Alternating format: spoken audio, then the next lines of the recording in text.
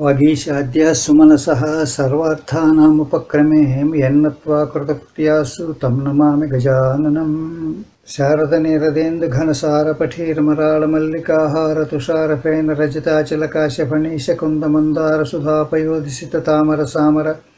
वाहिनीशुभाकारतनुपुनिन्मदिगानगनडुगल्भारती नमः कृष्णाय शुद्धाय ब्रह्मणे परमात्मने योगेश्वराय योगाय त्वामहं शरणं गता।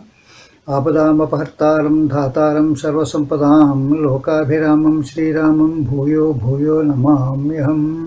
त्वं भानो जगतश्चक्षु त्वमात्मा सर्वदेहिनां त्वं योनि सर्वभूतानां त्वमाचारक्रियवताम्।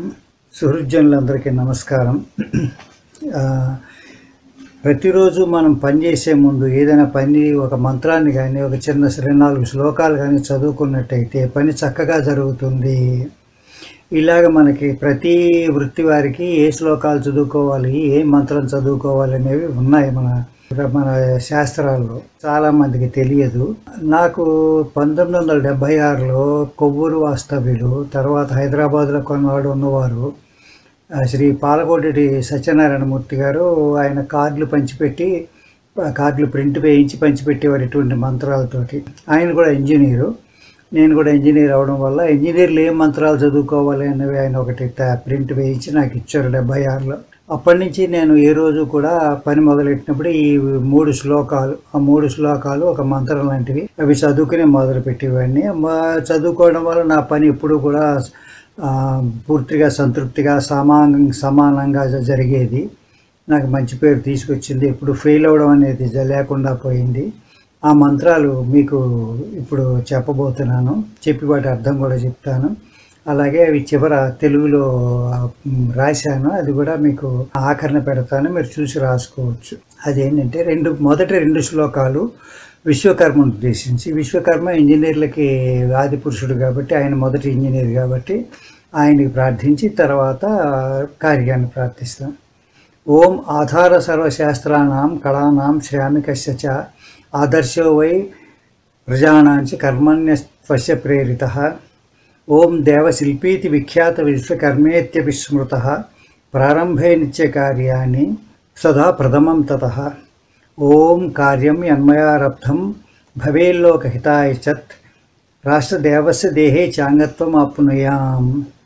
మొదటిది రెండు శ్లోకాలు కూడా దేవశిల్పి విశ్వకర్మను గురించి. సర్వశాస్త్రాలకి ఆయన ఆధారం సర్వ కళలకి ఆధారం శ్రామికులకి కూడా ఆయన ఆధారం. ఆయన మొదటి పురుషుడు కాబట్టి ఆయన్ని ఆదర్శంగా తీసుకుని చేస్తున్నాను. ఆఖరి శ్లోకం మాత్రం ఎవరైనా చదువుకోవచ్చు.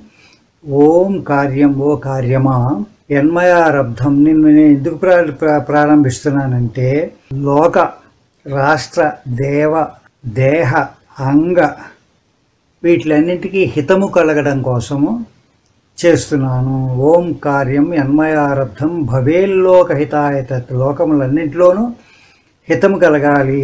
వేటికి రాష్ట్రమునకు అంటే మనం ఉండే దేశానికి దేవస్య దేవతలకి దేహేచ మన నా దేహానికి అంగత్వ మా అంగములకు అన్నింటికీ కూడా హితమాప్నుయాం హితము కలగవలను.